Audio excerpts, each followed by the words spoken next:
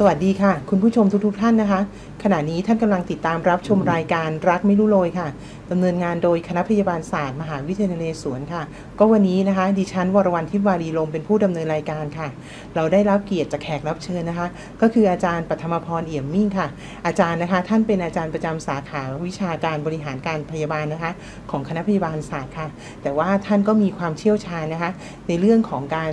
อ่า เรื่องของสูตินรีเวชนะคะเพราะว่าท่านทำงานนะคะเป็นพยาบาลอยู่ที่แผนกอ่า OPD สูตินรีเวชนะคะมาถึง 6 ปีด้วยกันค่ะ ก็อาจารย์ปฐมพรเอี่ยมมิ่งนะคะ สวัสดีค่ะอาจารย์ สวัสดีค่ะ วันนี้อาจารย์จะมาคุยกับเราเรื่องอะไรนะคะค่ะอ่าจะคุยถึงเรื่องลูกน้อยของเราจะเริ่มอาหารมื้อแรกได้เมื่อไหร่ค่ะโอ้ ค่ะ ก็อันนี้สำคัญมากเลยนะคะ ก็ดิฉันจำได้ค่ะ ตอนที่ไปฝึกงานในชุมชนนะคะ เคยมีนิสิตหรือว่ามีชาวบ้านเนี่ยค่ะ ก็ถามตรงๆเลยว่า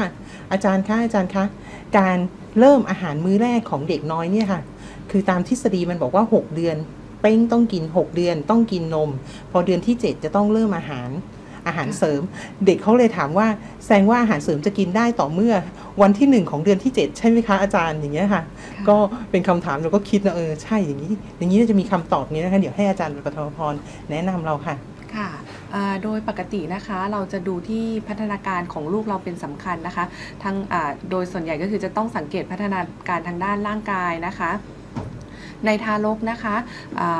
ในทารกตัวเล็กๆเนี่ยค่ะกระเพาะเขาจะยังน้อยนะคะ ถ้าคุณแม่ลองสังเกตดูนะคะ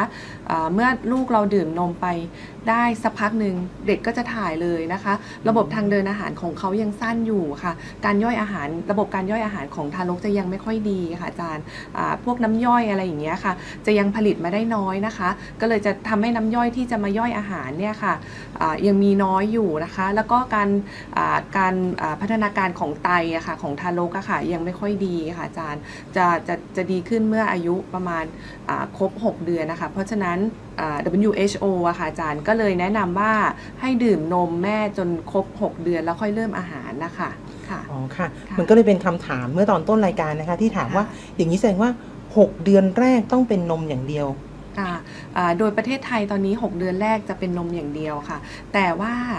จริง ๆ แล้วถ้าในบางบ้านนะคะ ก็มีความกังวลใจนะคะว่าแบบ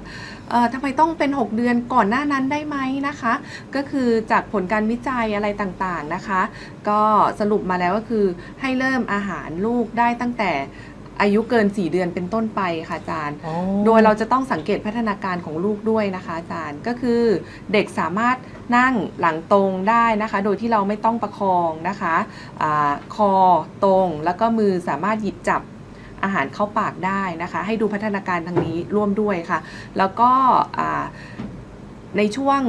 4-6 เดือนเนี่ยค่ะ ลูกก็จะเริ่มมีฟันขึ้นนะคะ ตามพัฒนาการทางด้านร่างกายของเด็กอะค่ะค่ะค่ะเพราะฉะนั้นแม้ว่าจะกระทรวงของเรากระทรวงสาธารณสุขของเมืองไทยเขากำหนดให้ต้องกินนมอย่างน้อย 6 เดือนค่ะแต่ถ้าจำเป็นจะต้องเริ่มอาหารเสริม เราก็อาจจะให้ควบคู่กันไปได้ตั้งแต่พอน้องอายุสัก4ี่หเดือน ถ้าตั้งนั่งค่ะนั่งตรงได้แล้วค่ะเพราะฉะนั้น 5 เดือนก็เริ่มได้ ห้าเดือนก็เริ่มได้แต่ให้สังเกตพัฒนาการของน้องเป็นหลักค่ะอ๋ออาจารย์ค่ะค่ะ ก็ไม่จำเป็นต้องเดือนวันที่ 1 ของเดือนที่7ต้องต้องเริ่มอาหารเสริมใช่ค่ะอ๋ออาจาค่ะรย์เพราะถ้าเกิดน้องเขาพร้อมเราก็เริ่มได้ แต่นมใช่ยังไงก็ต้องให้ไปจน 6 เดือน ใช่ค่ะนมแนะนำให้ได้จนถึง 6 เดือน แต่ถ้าเกิดคุณแม่นะคะ สามารถให้ลูกกินนมบุตรได้เกิน 6 เดือนนะคะ ก็จะดีมากนะคะ สามารถทานได้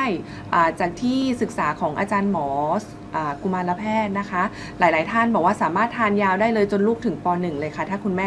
สามารถได้ขนาดนั้นค่ะโอ้ให้นมค่ะลูกได้ขนาดนั้นนะคะ ใช่ค่ะและอีกอย่างหนึงนะที่ฉันก็นึกถึงเลยค่ะให้นมน้องนะคะ ด้วยนมของคุณแม่เองเนี่ยจะประหยัดค่านมไปได้เยอะเลยนะคะเป็นหมื่น ๆ เลยปีหนึ่งหลายหมื่นเลยใช่ค่ะอาจารย์โอ้ค่ะซื้อมอเตอร์ไซค์ได้เป็นคันหนึ่งเลยนะคะ ใช่ค่ะอาจารย์ค่ะ ก็สุดท้ายนี้ไม่ทราบว่าอาจารย์ปฐมพรอยากจะฝากอะไร กับคุณแม่หรือว่าคุณผู้ชมบ้างไหมคะเกี่ยวกับเรื่องของอาหารเสริมเนี่ยค่ะอ่า ในเรื่องของอาหารเสริมนะคะะช่วงแรก ๆนะคะ คุณแม่อาจจะกังวลว่าจะต้องอเริ่มทำยังไง ลูกจะไม่กินจะยังไงนะคะ เริ่มต้นนะคะจะมีทริคเล็กๆ น้อยๆนะคะะ อาหารมื้อแรกคุณแม่อาจจะผสมนมนะคะของคุณแม่เองนะคะกับอาหารเนาะเพื่อให้ลูกได้ลองทานนะคะเนาะก็มื้อแรกก็ให้เป็นข้าวบดละเอียดนะคะ ผสมกับนมคุณแม่ก่อนก็ได้ค่ะ ให้เขาลองชิมรสชาตินะคะ โดยที่ไม่ต้องใส่เครื่องปรุงรสใดๆเลยค่ะอาจารย์อ๋อค่ะนี่คือเป็นทริคนิดหน่อยนะคะคใช่รั้งแรกค่ะค่ะ ก็วันนี้นะคะทางรายการนะคะ ก็ต้องขอขอบพระคุณอาจารย์ปัทมพรเอี่ยมมิ่งมากเลยค่ะ ที่ให้เกียรติมาเป็นแขกรับเชิญนะคะ ให้ความรู้กับเราในวันนี้ค่ะ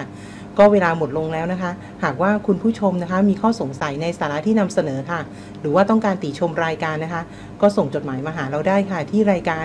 รักไม่รู้โรยนะคะ สถานีวิทยุกระจายเสียงมหาวิทยาลัยนเรศวรค่ะ หรือว่าที่ทางอีเมล address นะคะ nuradio 107.25 at hotmail com ค่ะ หรือว่าทาง Facebook ก็สะดวกนะคะ ที่ Facebook สถานีวิทยุกระจายเสียงมหาวิทยาลัยนเรศวรค่ะ NU Radio นเรศวรนะคะ สำหรับวันนี้ดิฉันวรวรรณทิวารีลม แล้วก็ทีมงานค่ะ ต้องขอขอบพระคุณคุณผู้ชมทุกๆท่านเลยนะคะ ที่ติดตามรับชมรายการมาโดยตลอดค่ะ ก็พบกันใหม่นะคะ ในวันเสาร์หน้าค่ะ สวัสดีค่ะ